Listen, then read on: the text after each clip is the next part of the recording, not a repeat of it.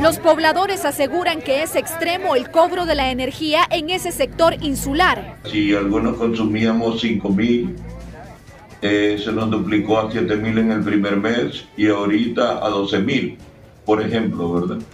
Entonces lo que nosotros estábamos pidiendo era una reducción en la factura de por lo menos un 50%. Una comisión integrada por los abonados presentó una propuesta a RECO que consiste en la reducción en 50% al cobro en la última factura de la energía eléctrica, revisión de los medidores, eliminar el cobro de ajuste por combustible y formar parte del proceso de ajuste a la tarifa de energía eléctrica por parte de RECO. Sin embargo, no se logró ningún acuerdo. No pueden, no pueden abortar sus ganancias, por decirlo y decir, bueno, en estos tres meses, así como los bancos y la mayor parte de empresas, han tenido consideración, nosotros no podemos tenerle consideración a este pueblo del que vivimos, pues.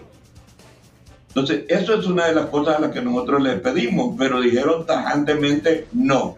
Reco asegura que esta propuesta no es viable porque generaría un impacto negativo a la empresa.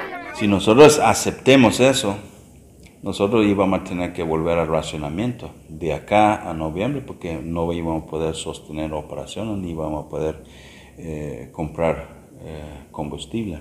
Los comerciantes no encuentran justificación al elevado cobro en negocios cerrados por la pandemia. La mayoría de empresas nuestras en lo particular que han estado cerradas durante estos dos meses de, de pandemia y nos aparece de igual manera elevado el, precio de la factura de este mes. Reco atribuye al confinamiento el aumento en la factura porque las familias han permanecido en casa y propone pagar lo facturado el mes anterior. Hay que recordar de que eh, las tarifas residenciales em, varían eh, de acuerdo al consumo, o sea que entre menos, entre menos uno consume, menos es la tarifa. Tuvimos haciendo la oferta, siempre tiene que pagar el consumo, pero a la tarifa más, más favorable.